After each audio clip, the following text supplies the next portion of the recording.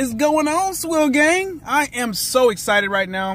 I'm gonna tell you guys in a minute just why I'm so excited. But you know, I'm really excited for you guys. One reason why I'm excited is because you guys decided to come here and check out another video here for Last Fortress Underground.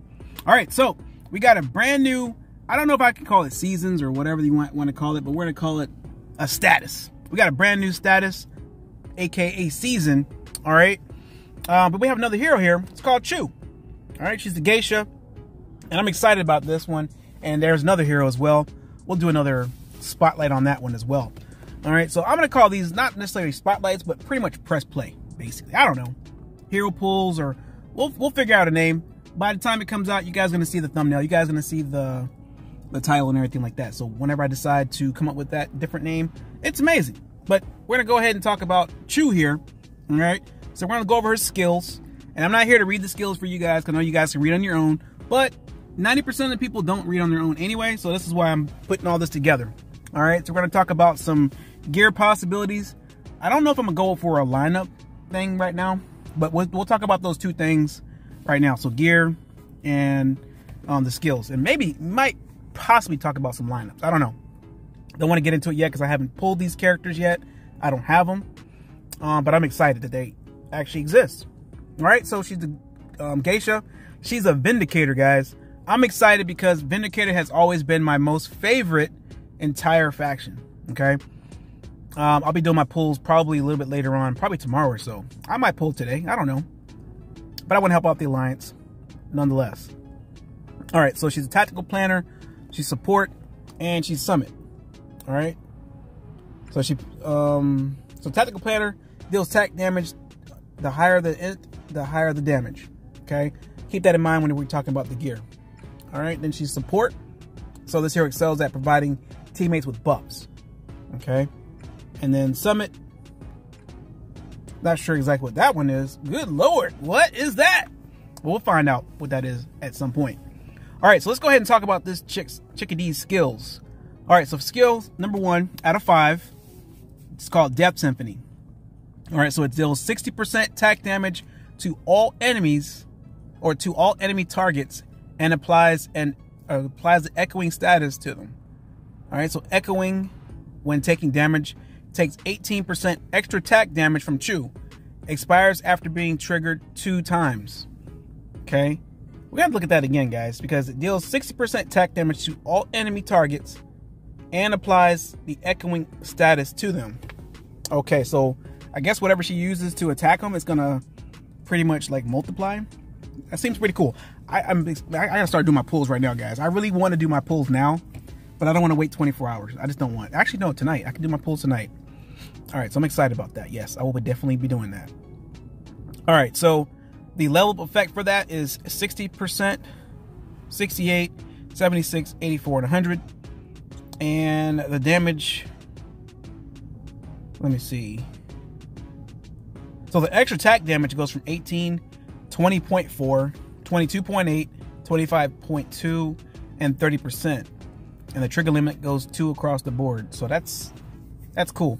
I just I imagine right now a lot of guys have already pulled this already. I'm sure by at this point, at the time of this recording, I'm sure maybe half the server already got this this character right here. All right, so the second skill is called Hidden Strike.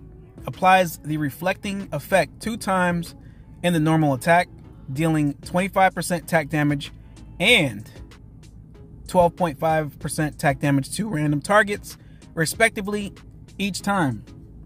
All right, so damage 25%, 35, 30, 35, 40, 50. All right, and then the extra attack damage, attack damage to random target, respectively, each time, 12.5 all the way to 25. I'm not reading all those numbers, guys. That's a lot. Okay. Next skill is called Call of Death. When the heroes attack enemy target subject to the echoing status, they will restore some hit points equal to 25% of Chu's attack attack. And Chu will gain 25 focus. All right, so we're going to read that one more time, guys. I have to make sure it sinks into my brain. Okay. So when your heroes attack an enemy target subjected to echoing status, they will restore some hit points equal to 25% of Chu's attack attack. Okay? That is amazing right there. Honestly, that's good. That's good. I think this is probably to be like almost like I don't want to call her a healer, she because of course she is support. So if you can probably I don't know some of the lines I do use, I use Alyssa, and I could probably take Alyssa out of the equation now. Not that she's bad, but this is going to be something that's going to be a little bit more because the, the, the heroes that are attacking something with an echoing effect, they're going to get that extra health. So this is going to be a benefit, guys. I will definitely, I man, God. yeah, I'll have to spend for this one, guys. I'm gonna have to break out the, I'm gonna have to break out the card for this one, like for real. All right, I gotta level her up max. All right, and I intend on it.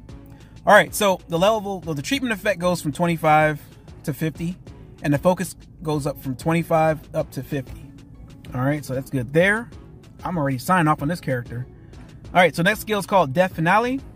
When casting the Death Symphony, uh, deals 10% extra attack damage to max times that the echoing status can be triggered plus one. I really don't understand that part.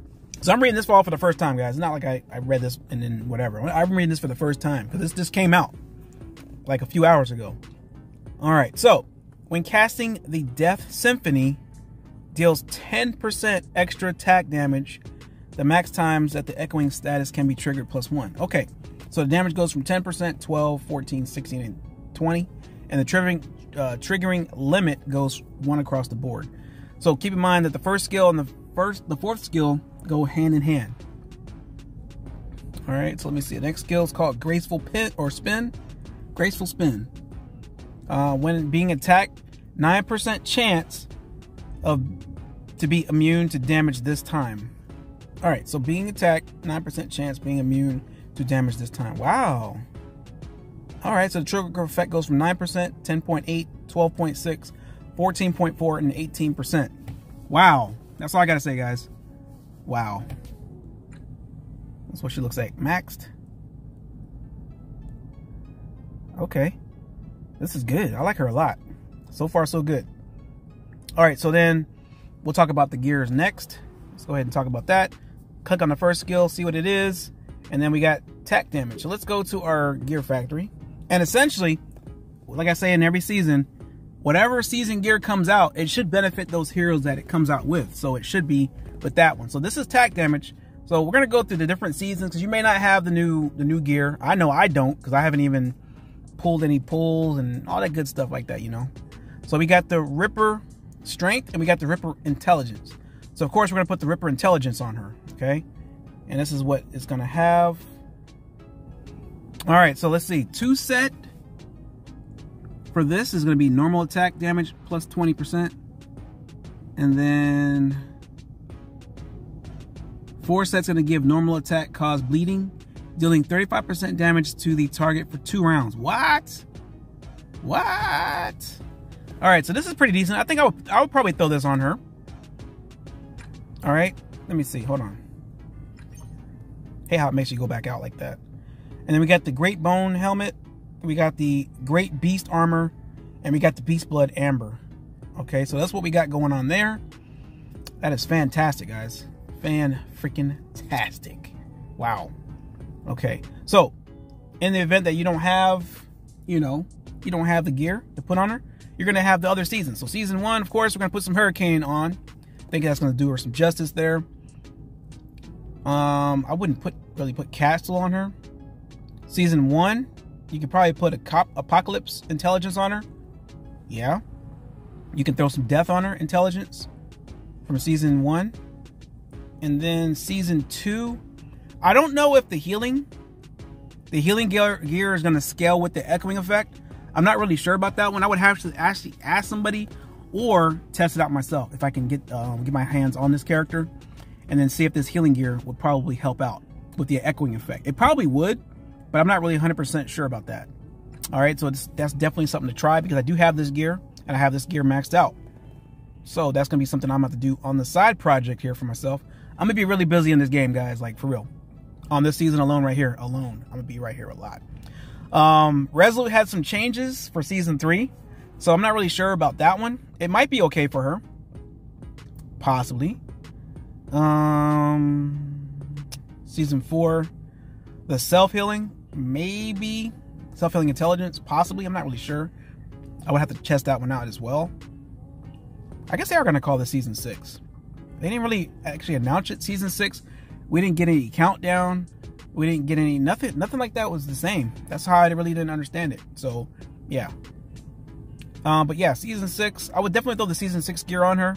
Um, the Ripper, intelligence, for sure. Um, now as far as lineups go, I I, I really don't know, guys.